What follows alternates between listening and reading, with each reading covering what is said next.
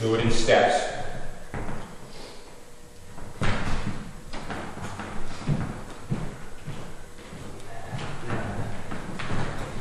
See, I think what, what, what is, he was doing the same thing. You're kind of going, you're kind of jumping the gun.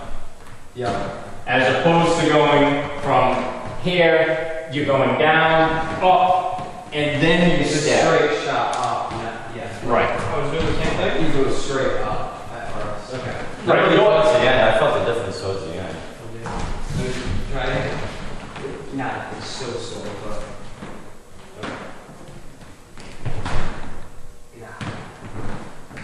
Could have slipped it, like, right? Yeah. You should have stepped more. Okay. Now, bring it. Then. Sorry. I got it. No, just throw it on the ground. This.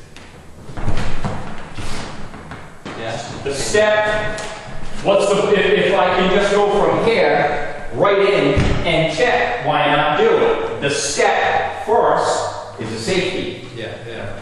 What if he moves? What if he sidesteps and counts as you're going by?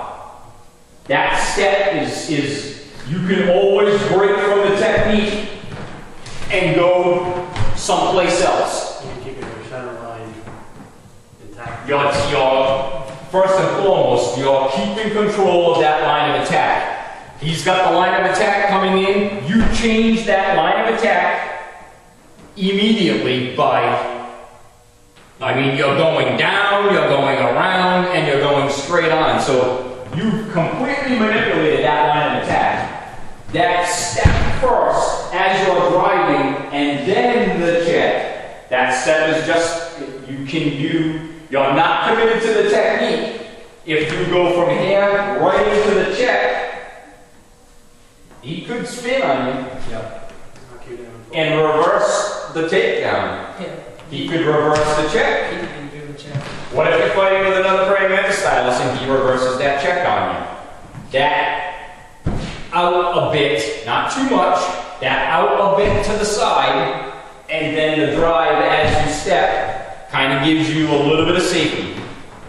Like I said to you over there, make your, your thigh about, or your, your knee about that far from his leg on your initial down and to the side, and then walk as you're driving the shoulder, walk that leg behind.